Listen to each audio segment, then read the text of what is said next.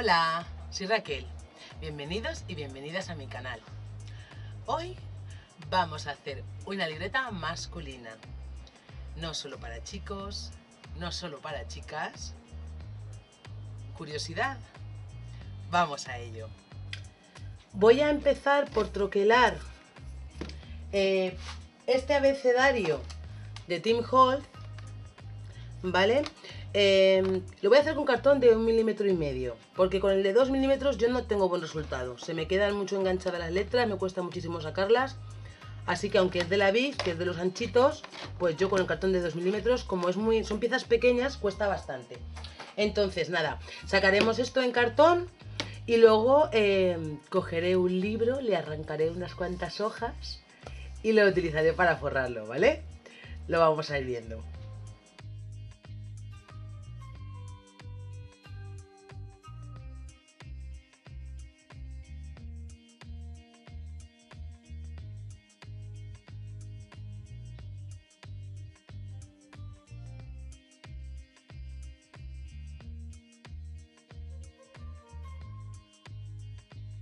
En mi defensa diré que este libro está en alemán, así que aunque me da pena, pues no necesito papel, así.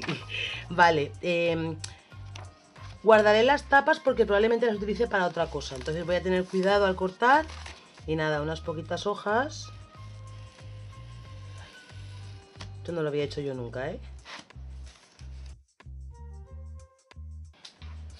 Y ahora las voy a troquelar también.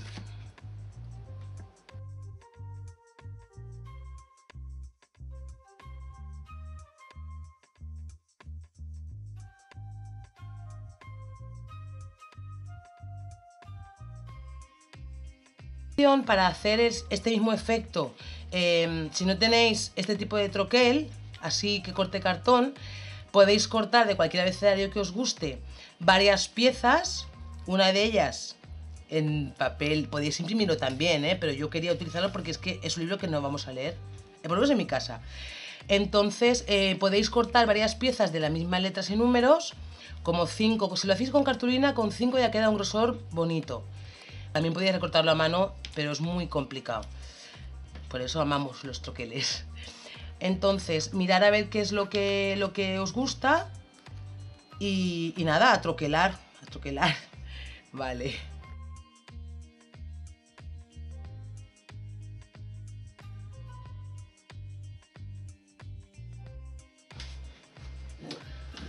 Ahora voy a pegar las letras de papel, ¿vale? Ahí no podéis ver. Vale, las letras de imprenta sobre nuestras piezas ya cortadas de, de cartón.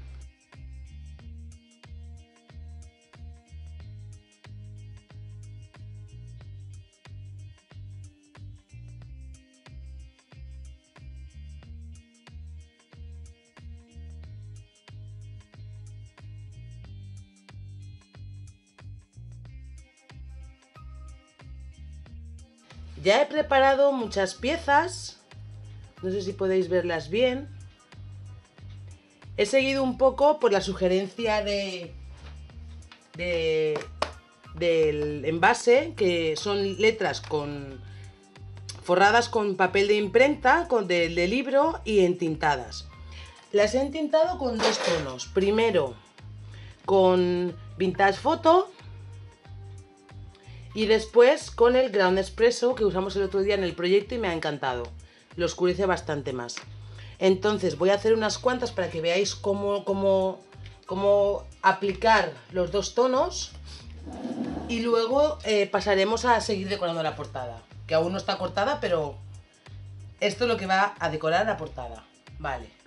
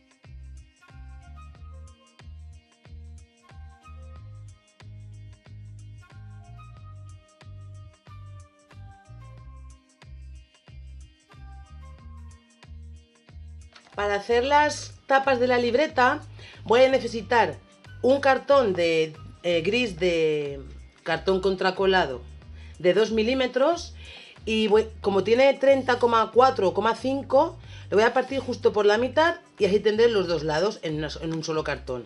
Y luego lo cortaré de alto a 21 centímetros. Si os gusta darle un poquito más de margen por arriba también lo podéis hacer. O incluso más ancho pero eso ya las hojas van a ser una 5 que es la mitad de un folio es decir que las hojas de dentro medirán 14,85 por 21 vale pues nada, vamos a ello.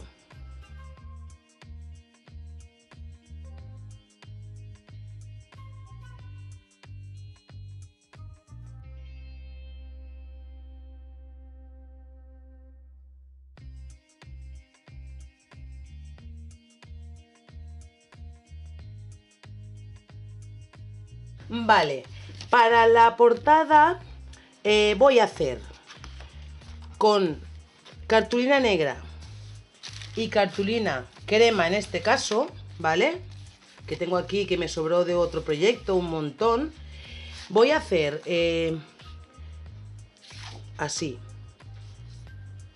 Entre un tablero de ajedrez y un camino empedrado. No sé cómo va a quedar.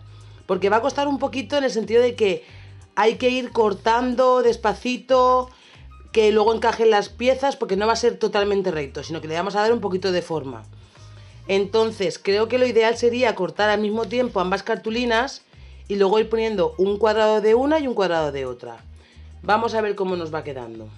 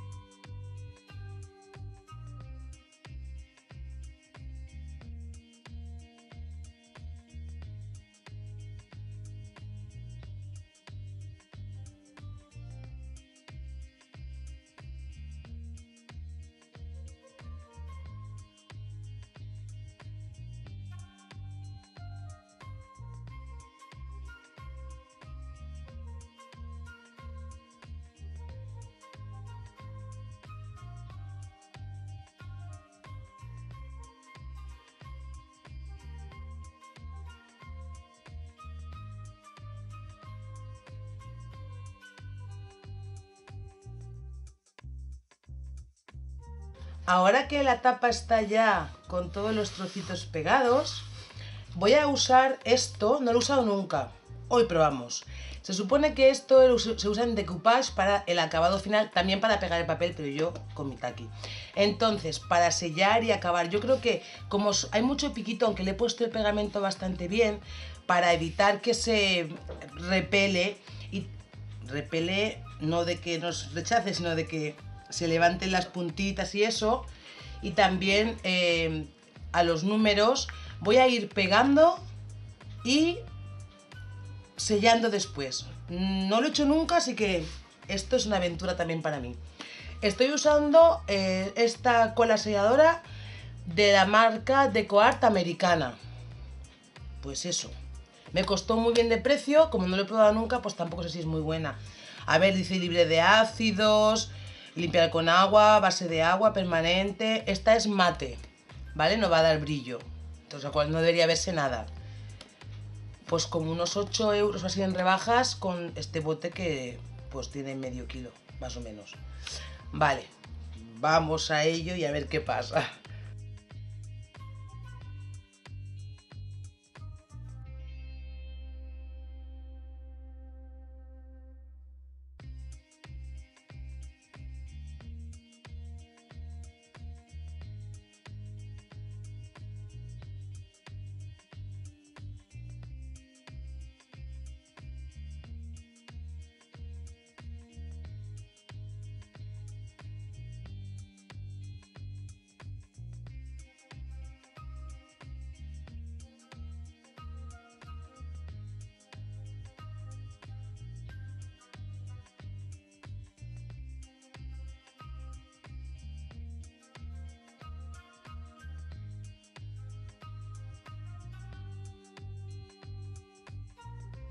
Bueno, así está esto, ¿vale? Se supone que hay que dejarlo 24 horas secar. Bueno, yo voy a dejarlo en el balcón y tendré que seguir en algún momento porque si no, no lo voy a terminar. Mientras iré haciendo la tapa de detrás y cortando las hojas, encuadernando. No lo voy a hacer muy complicado porque la, portada lleva su trabajo. Vale, eh, pues nada, vamos a ver cuánto tarda en secarse para poder... Además creo que necesita más de una capa. Dice que hay que dejar al menos media hora entre capa y capa, entre 15, bueno, 15 y 20 minutos. Y luego, antes de poder... Ah, antes de poder usar. Bueno, pues entonces ya mañana la encuadernaremos.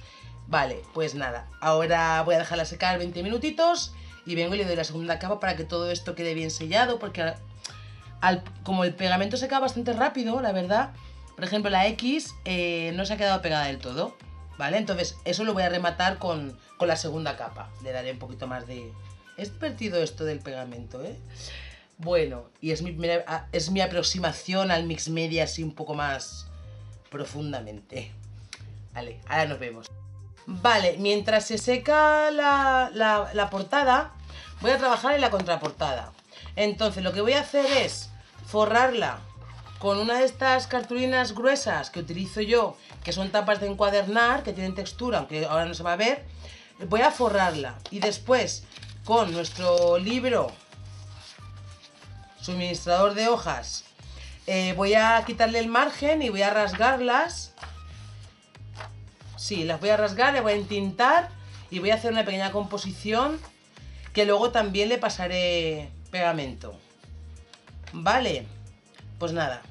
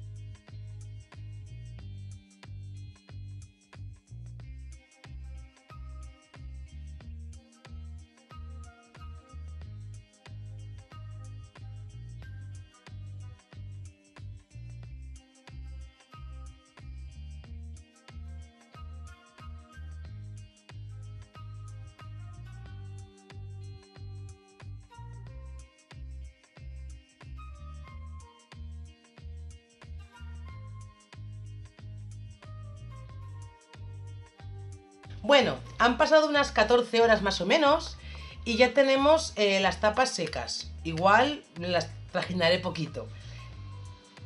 Vale, entonces ahora lo que voy a hacer es ponerles este cartón, esta cartulina, las voy a forrar, ¿vale? Al ras y le voy a poner después, que las encuentre, un momento,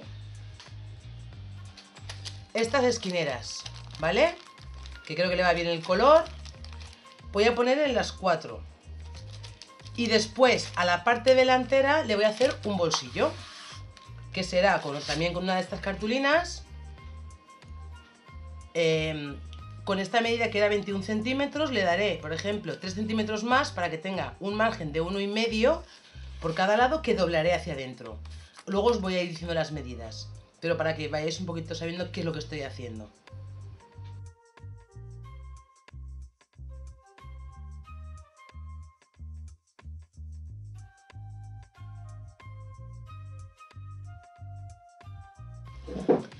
Vale, el bolsillo delantero, interior. Tendremos un centímetro y medio para doblar y para el margen exterior serán 3 centímetros. Y luego el bolsillo medirá 2, 4, 6, 8, 10 centímetros. Por tanto, haremos un corte de 13 centímetros de ancho.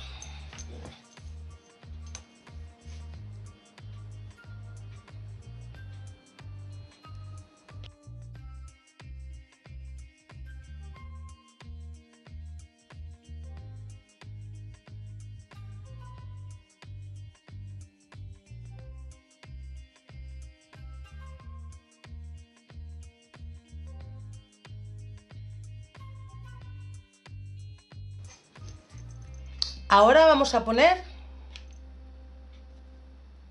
las esquinas, ¿vale? Con silicona caliente. Siempre empiezo por la de detrás porque como me cuesta un poquillo que me obedezca, pues vamos a poner un poquito, ¿vale? Voy a poner un poquitín en la esquina y luego meto, o a ver, vamos a probar, así me quemaré seguro.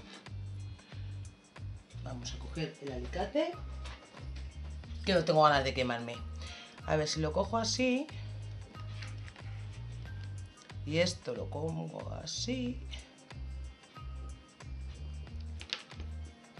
Puede que funcione.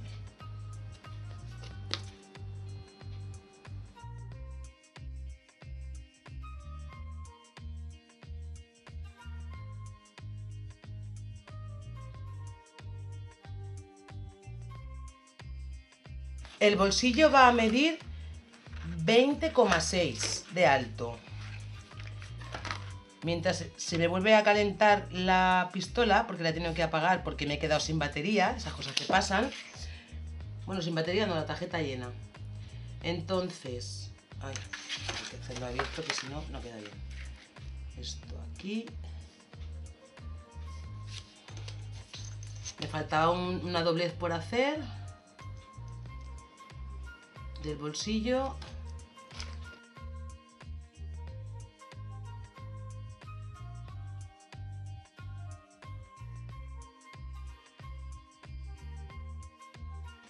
Como he tenido un poquito de dificultad para poner en condiciones las esquinas, siempre empiezo por la parte de detrás, que es la que menos se ve, porque así parece que voy calentando.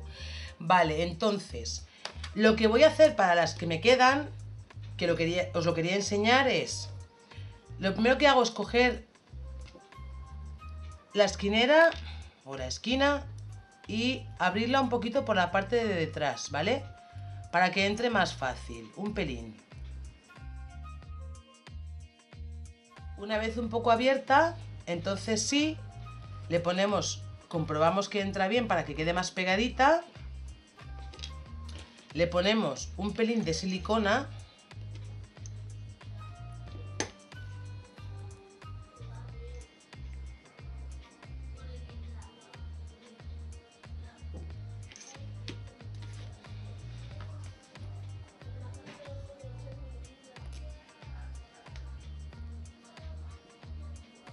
Apretamos bien y así entra como tiene que entrar. Y luego ya por la parte de atrás pues ya lo cerramos.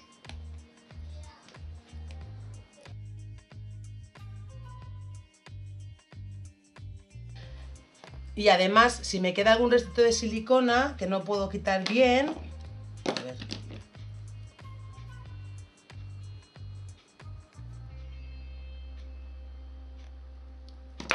Pues le doy un poquito con la tinta y parece que disimula un poquito más, ¿vale?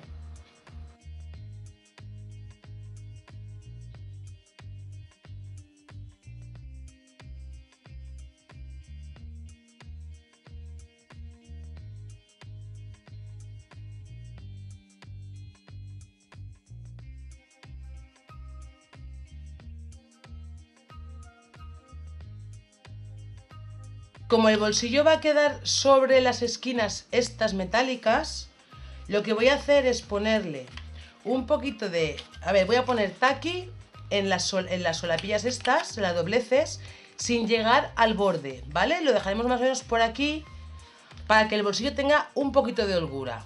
Y además pondré un poquito de silicona aquí encima para que se quede realmente pegado, porque el, el taqui con el, con el metal no va tan bien como, como la silicona. ¿Vale? Pues nada, voy a hacerlo ahora.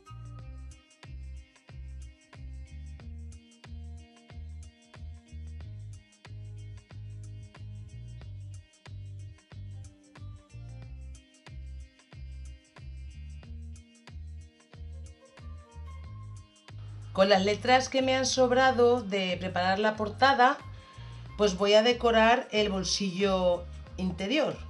Lo voy a poner así, ¿vale? Eh, algunas letras eh, tienen la escritura en, vertical, otras en horizontal, así un poquito variado, mezclando otra vez los letras y números.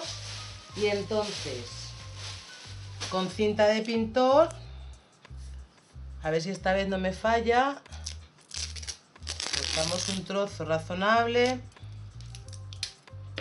le quitamos la adherencia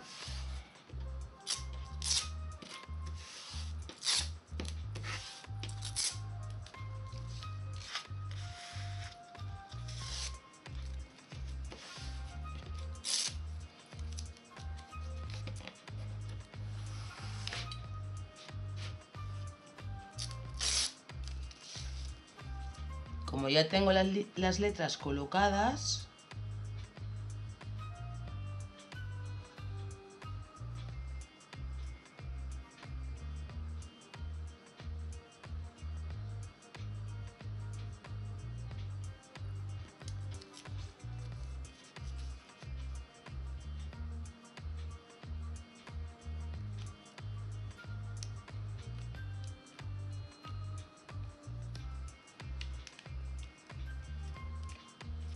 Ahora. Ahora le ponemos pegamento taqui.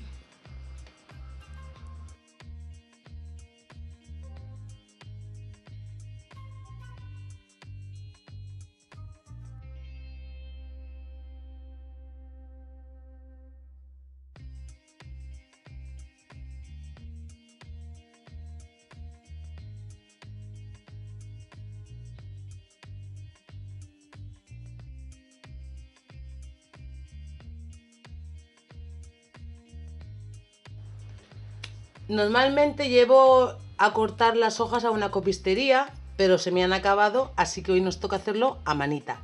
Entonces, cogemos la mitad de un folio, en este caso primero la cartulina y luego un folio, ¿vale? Y marcamos a 14,85 o algo así, que sería un poquito entre el 8 y el 9.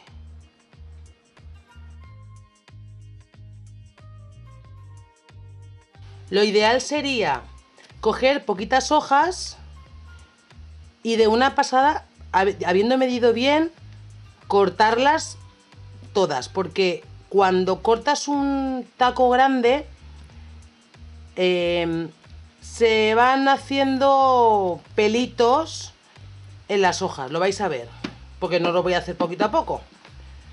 más emocionante.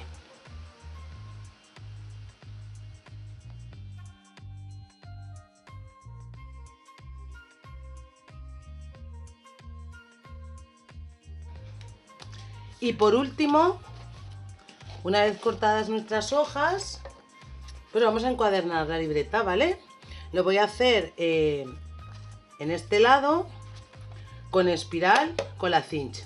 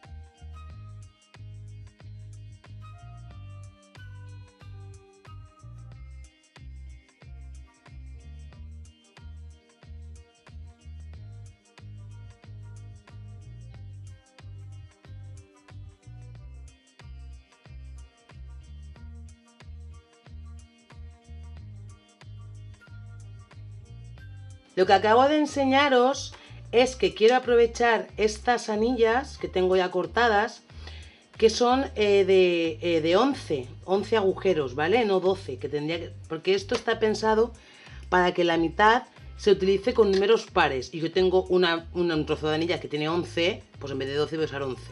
Vale, entonces eh, busco el medio, que sería estas rayas que he hecho aquí, para que el agujero me coincida, ¿vale? Con la doblez. Aquí me quedaba un poquito alto y lo que me quedaba, o sea, me quedaba más espacio abajo que arriba. No me gusta, me gusta al revés.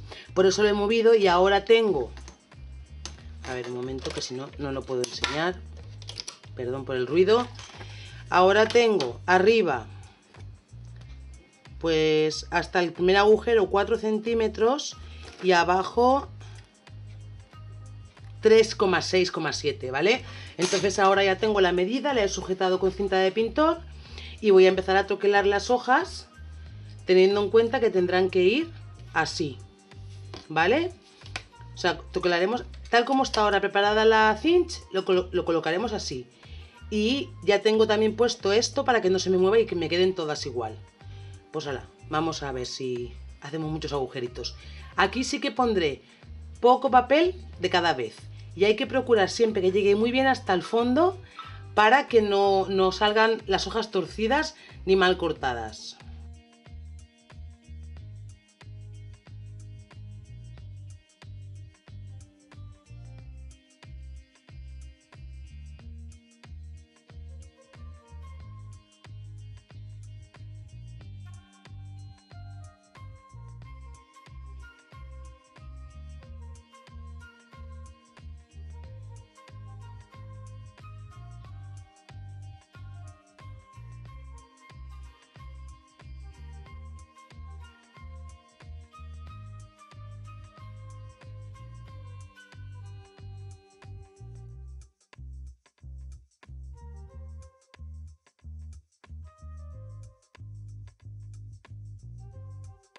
Ahora viene la prueba de fuego, que es cerrar las anillas con la máquina. A veces me sale bien, a veces no me sale bien. Yo opto, como recomendaban algunas chicas por internet, es cerrarlas a mano. Pero bueno, siempre lo intento y estropeo un par de espirales en el proceso. Se supone que hay que ponerlo bien recto, o sea, bien centrado, ¿vale? En medio. Y despacito, despacito ir cerrando. Ya lo he puesto a una pulgada, que son las anillas. ¿Vale? Que tiene aquí un numerito, no sé si lo podéis ver bien. Y nada, se coloca y despacito.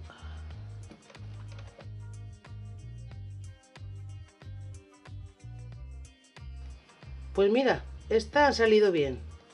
Ahora que ya sé que están redondas, las voy a cerrar un poquito más con la mano.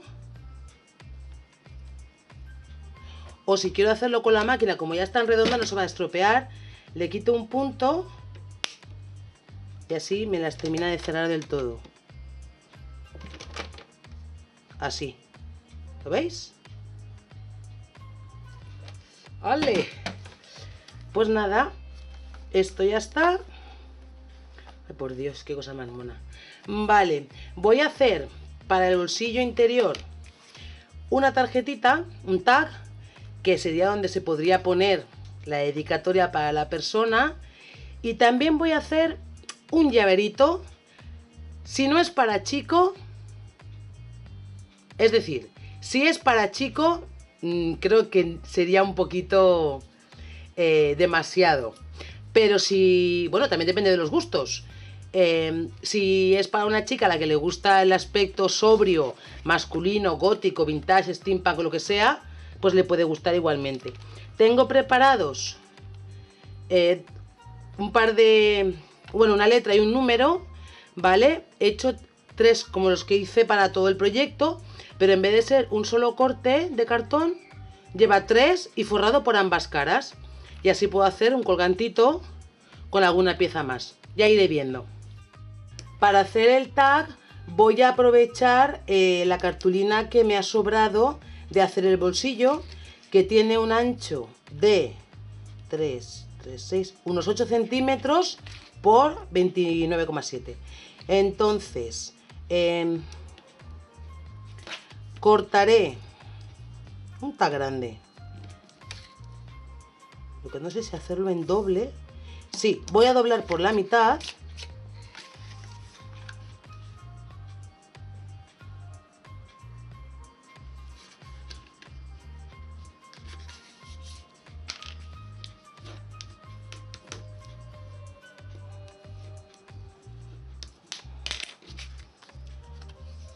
aquí.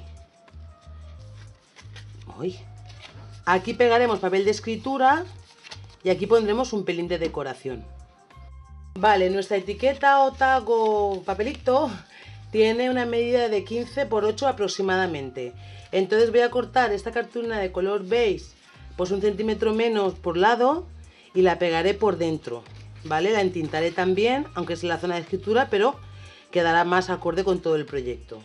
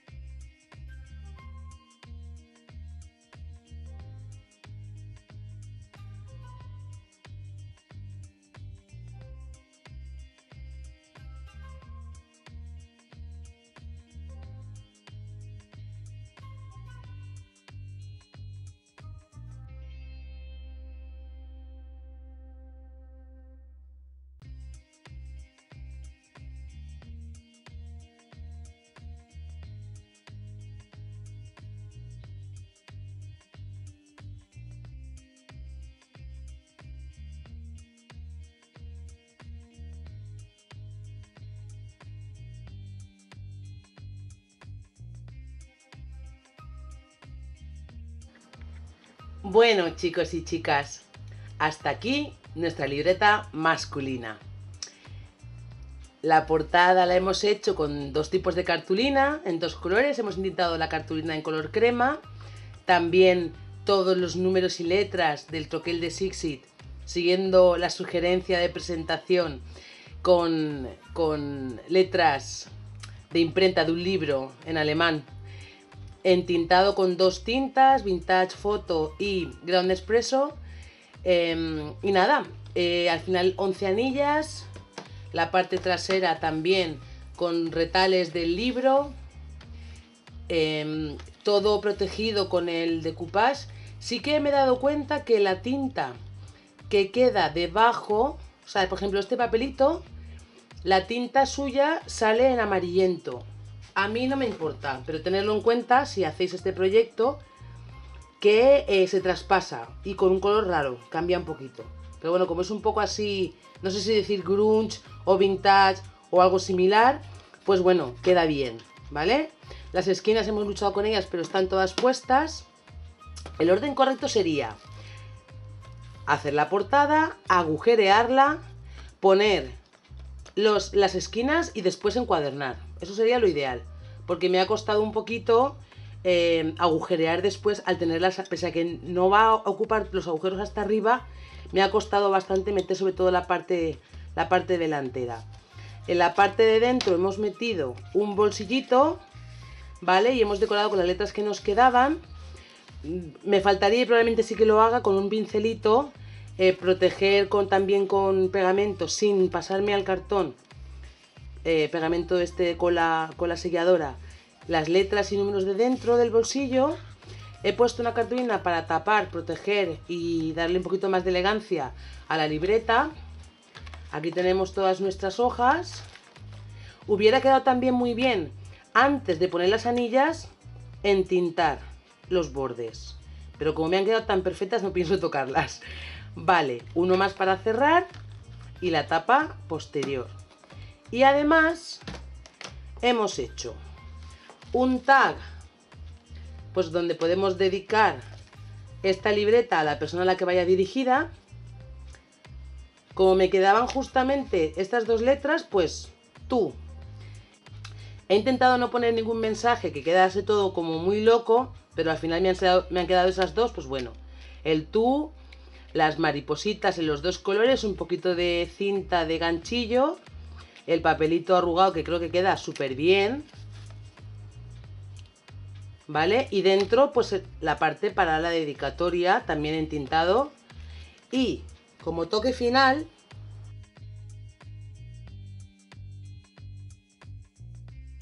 entonces he hecho este pequeño llaverito, ¿vale? Que podéis enganchar aquí y queda súper bonita también. Ya digo que es un estilo masculino, pero no necesariamente para chico. Así que, si os gusta, podéis ponerlo. Pues nada, Espero que hayáis disfrutado con el tutorial. Si es así, recordad que podéis suscribiros al canal, compartirlo en vuestras redes sociales, darle like y dejar un comentario. Muchas gracias y hasta muy muy pronto. Adiós.